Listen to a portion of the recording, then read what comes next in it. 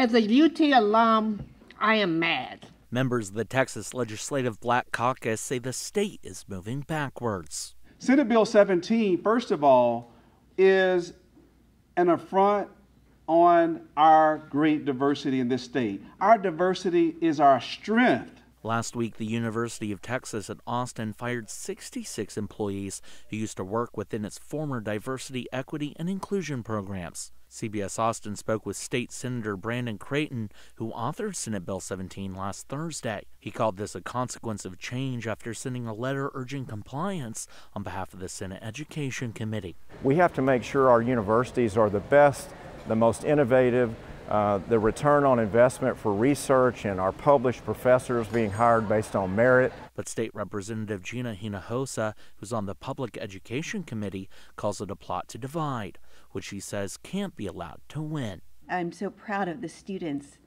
who have shown leadership on campus, who have come together, who have organized each other and found their strength and their power. UT professor Dr. Brian Evans is president elect of the Texas State Conference of the American Association of University Professors. He says the terminations caught everyone off guard, especially since all of the employees who lost their jobs had already been moved to different roles at UT. They did not deserve to be the victims of partisan political fights state leaders. Texas NAACP President Gary Bledsoe went as far as calling it First Amendment retaliation. It seems like the vast majority of people who will be losing their jobs are female.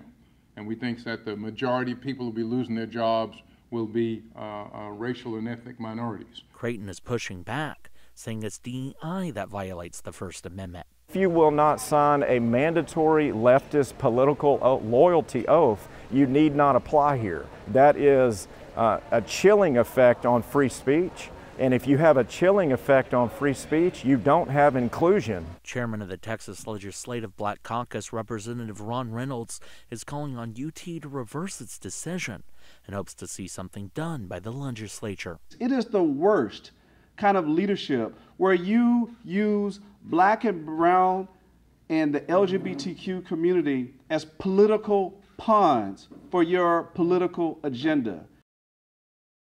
Thank you for watching. Please hit the subscribe button and get the latest news by downloading the CBS Austin News app.